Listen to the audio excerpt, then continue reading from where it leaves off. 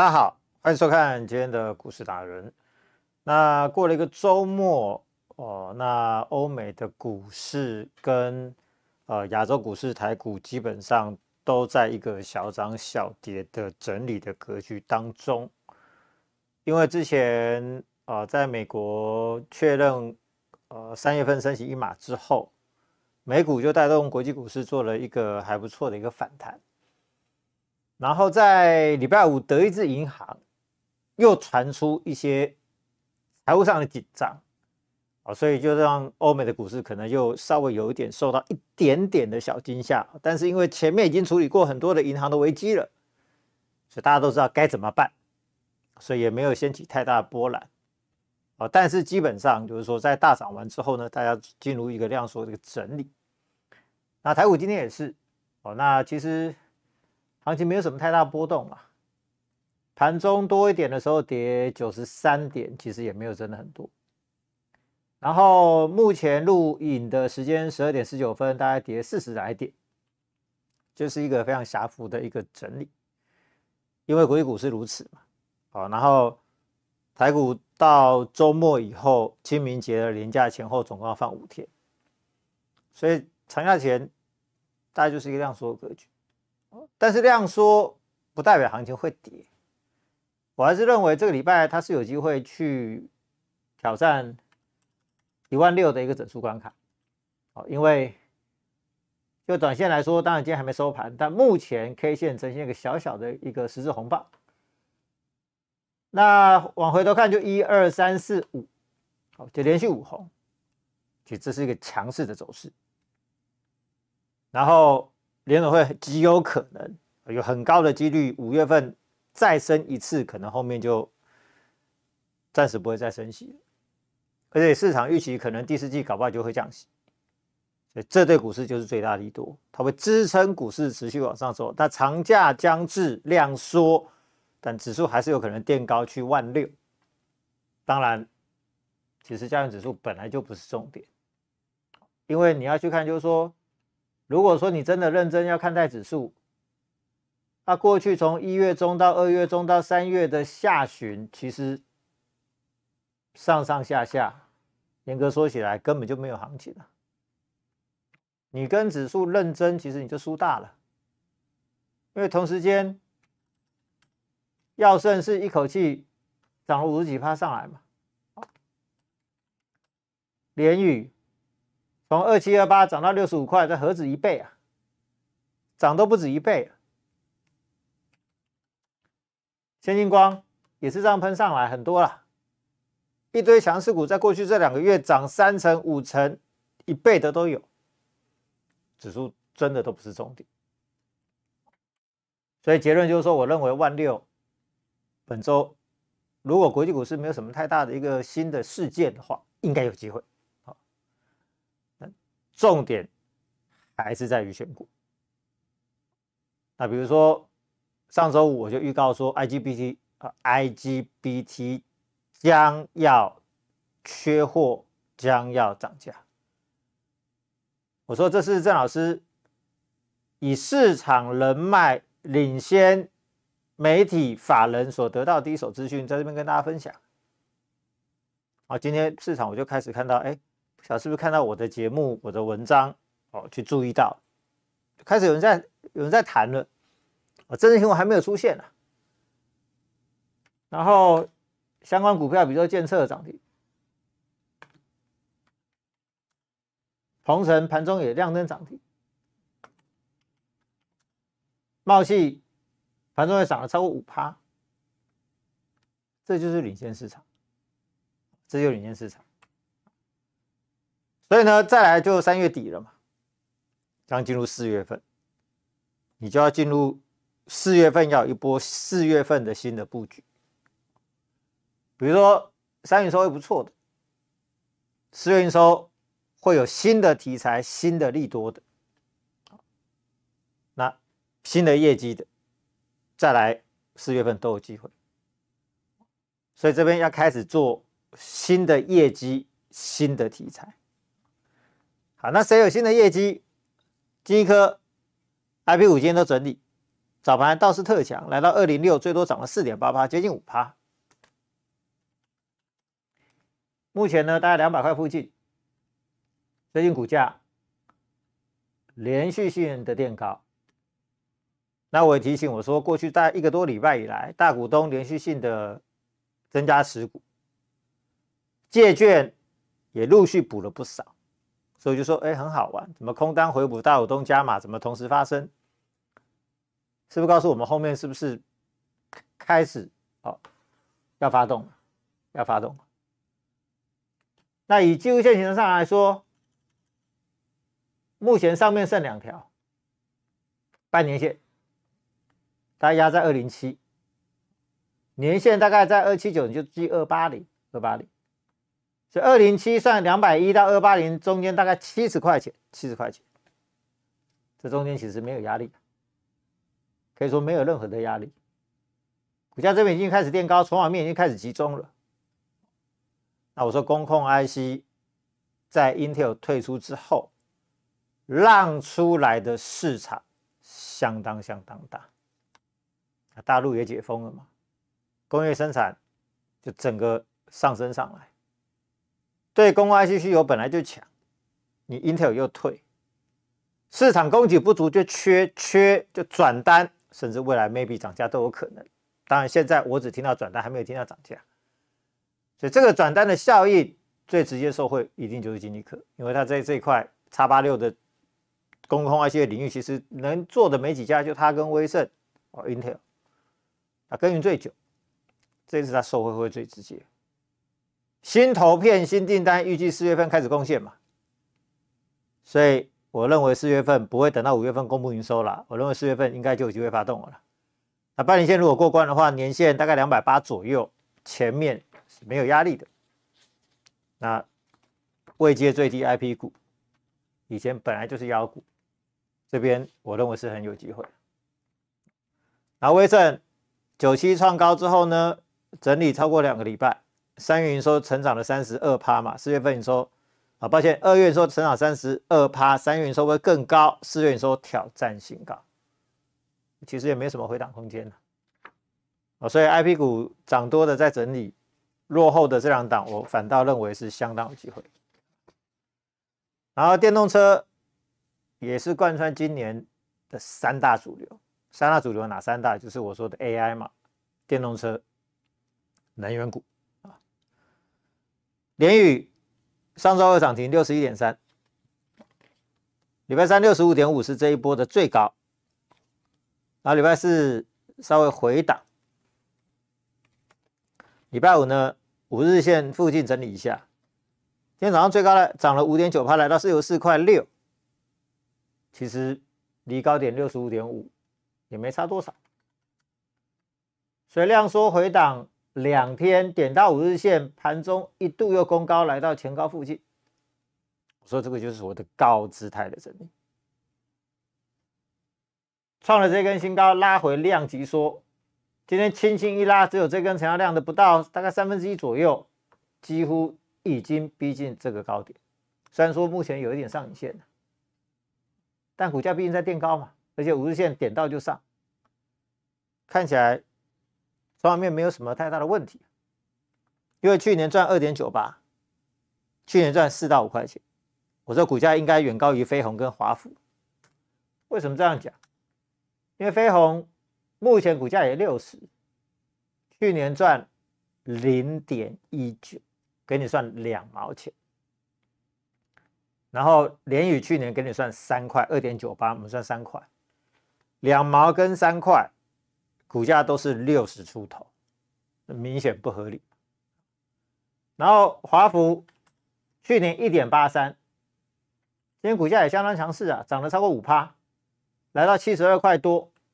这一波最高七十七块钱，啊，去年赚一块八的，大概七十几块钱，去年赚接近三块钱的股价只有六十几块，所以很明显的。联宇被低估嘛，所以我说股价应该远远高于飞鸿跟华孚。对，电动车今年会很好，因为据我最新的了解，今年国际所有车厂，包含什么福斯啊、B N W 啦、啊，宾士啊、保时捷啦，所有的车厂都要推出相当多款的新的电动车。未来不是只有特斯拉，你未来要买电动车，很多品牌可以买。好，那再来就是价位的问题嘛。据说今年会有四百款的电动车的新车，所以以前你可能觉得路上电动车能选的款式很少，大陆车又卖不到台湾来，所以台湾能买的大部分人都还是买特斯拉，不然就是买。保时捷的小品牌的很少，今年四百款所带来的商机非常巨大，里面要用的元件也非常非常的多。其中我就说 IGBT 的部分，因为以前燃油车用的 IGBT 的很少，电动车每一台要用好几百颗的 IGBT，是传统燃油车的七倍到十倍，我想就计整数大概十倍左右。所以呢，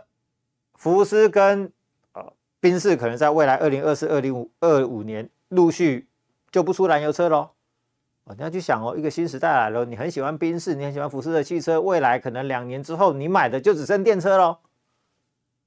未来充电是一个大问题嘛，所以需要很多的充电桩哦，可能家户要装，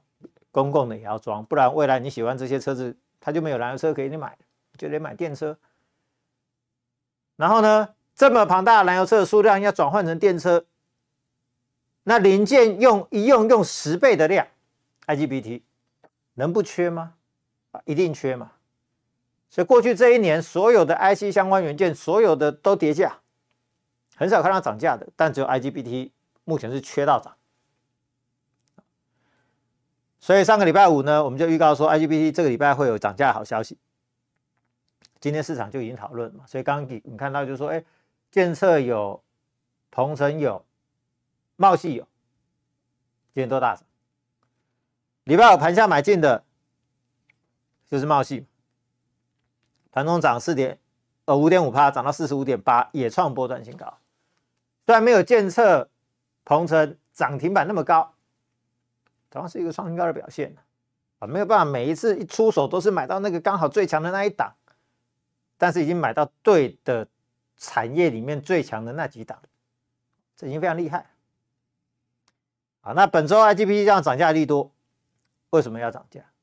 因为刚提到嘛，燃油车未来这两三年，欧洲车厂都陆续就不做了，都要换电车。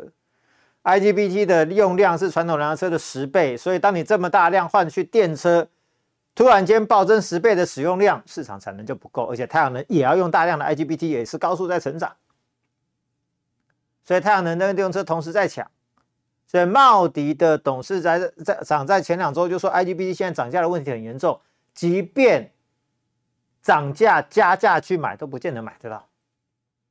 所以我上礼拜我就告诉你说，这个礼拜预计你会看到新一波的涨价，应该这几天应该就会看到了。那鹏程持股茂系三十趴，鹏程呢下半年也要出车用的 IGBT。啊，这一波涨价对鹏程就有利嘛？那它的认证过了，未来接单的价格数量可能就更好。那它就是交给茂系来做一个代工，而且茂系基础的获利前三季去年就赚三点二四二一，全年超过四块钱，今年也不会低于四块嘛。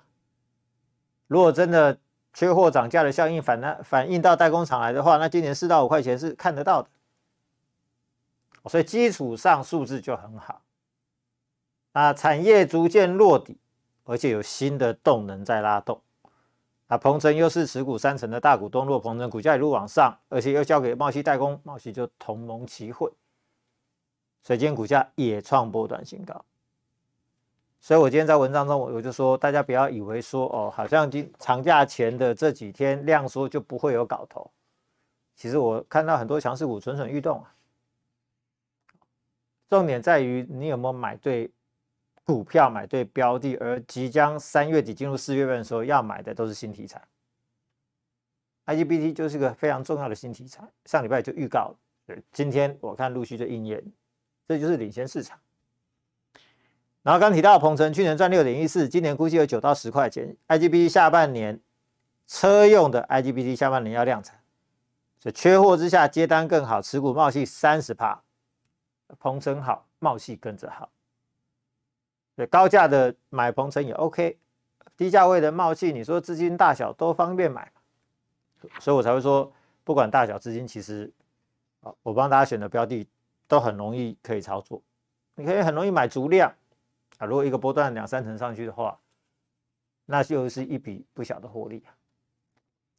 然后新底在还有 Type C，建顺电，我说。Apple 今年要全面导入 Type C，它也不得不了，因为欧盟就规定嘛，所以它也不可能做两个版本嘛，所以它就全面置换成 Type C，所以这就是一个新的变革嘛，它带来量会很大，因为所有的周边厂商全部都要跟着换，那未来所有线材、充电头什么都跟着换，那它最早拿下欧盟认证，所以今年欧美系的订单都会大成长，而且我就说基础的数字都很好。去年大概赚一块九，今年大概有两块半，目前股价大概二十三块，二十三块左右，这个价位都相当合理，都是低估的价位，所以我就说我们选的都是数字非常棒的精品股，啊，市场就是一个轮动嘛，有时候轮动 AI 股，有时候轮动能源股，有时候轮动 Type C，有时候轮动比如说 IGBT 电动车。先把主流选好，再从各个主流里面挑出最强势的股票啊！只要轮动到，你就有份啊，你就有份。所以一定要选数字最强的股票。然后 Type C 有一档中价位的标股，礼拜四涨停，礼拜五大涨小跌，回档刚好买进。今天盘中涨大概三点五趴，表现相当不错。Type C 今年订单大好。主要在于 Apple 的订单今年会成长相当相当多，就 Apple 因为要全面采用了嘛，啊，他帮 Apple 准备机台四年前就已经 ready 好，等了他四年，总算他老兄愿意全面改，所以今年订单量大增，也因为机台四年前 ready 好了，前面三年折旧都提的差不多，第四年、第五年折旧费用就少很多，所以折旧费用大减，订单大好，转投资也非常的强劲。去年只有小赚一块钱，今年估计上看六块钱。我有听到更乐观的预期，但是我们抓保守一点，六块，股价大概六字头。那这样的成长题材基本上十五趴合理，看上看九字头，这个大概就是五成的空间。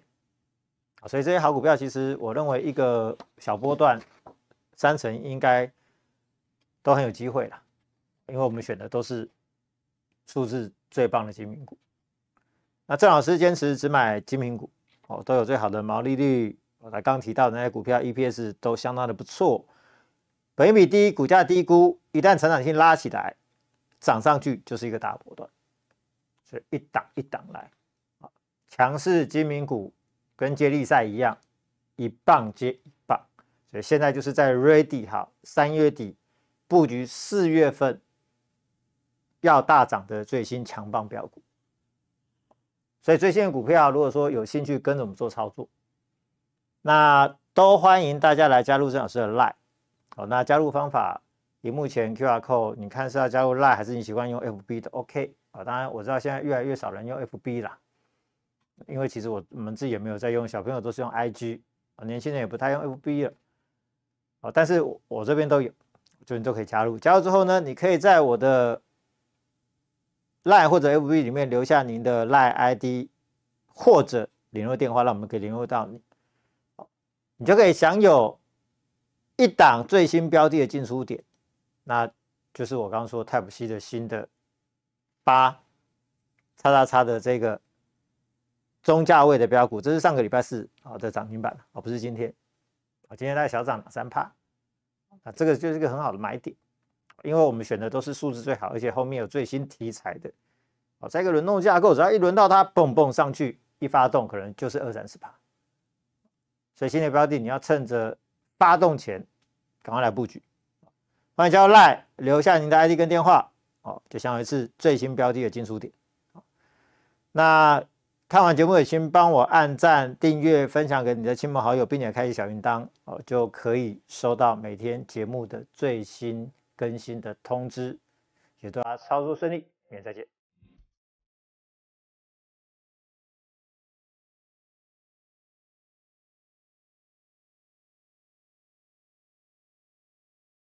本公司与所推荐分析之个别有价证券无不当之财务利益关系，本节目资料仅供参考，投资人应独立判断，审慎评估并自负投资风险。